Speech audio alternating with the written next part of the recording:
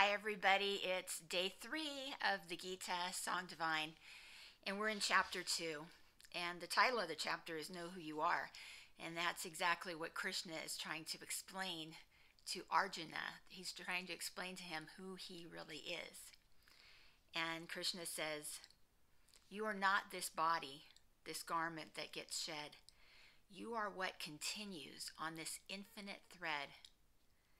So here Krishna is explaining that the body is just like a piece of clothing.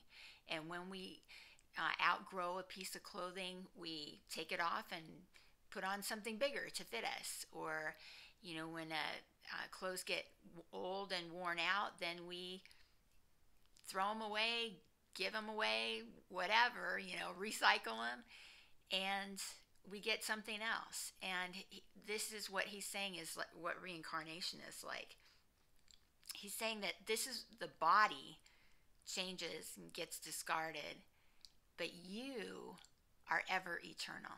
You are infinite. You are eternal and you are always present. So, you know, the body has an end point. It doesn't last forever, but this soul, the spirit, goes on and on and on and on and on. Okay, see you tomorrow.